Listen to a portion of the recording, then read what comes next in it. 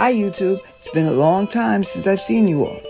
Take a look at this video and follow me on Whatnot. I'll be having a live auction this Thursday, December 9th at 7 p.m. One lucky winner will take home a die-cast Batman. Watch the entire video so that you can see all the things that will be up for auction.